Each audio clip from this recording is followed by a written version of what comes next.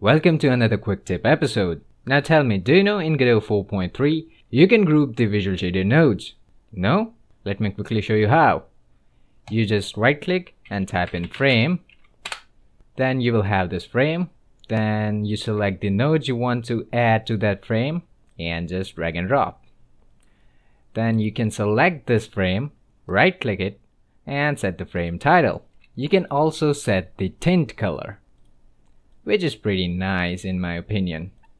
Then if you want to remove the node from the frame, you simply select the node, right click it, and detach from parent frame.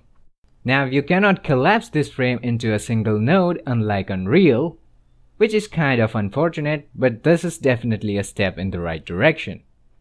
If Godot will add functionality of subgraphs like Unreal or Unity, then I will make future Godot Shader tutorials only using Visual Shader.